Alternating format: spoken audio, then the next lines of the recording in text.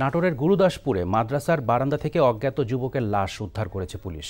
গুরুদাসপুর থানার ওসি আব্দুল মতিন জানান, গত রাতে উপজেলার উদবাড়িয়া দাখিল মাদ্রাসার বারান্দায় পলিথিনে রাখা এক যুবকের লাশ দেখে স্থানীয় লোকজন পুলিশে খবর দেয়। খবর পেয়ে থানা পুলিশ, পিবিআই ও সিআইডি ক্রাইম সিন ইউনিট ঘটনাস্থলে গিয়ে আলামত সংগ্রহ ও লাশ উদ্ধার করে মর্গে পাঠায়।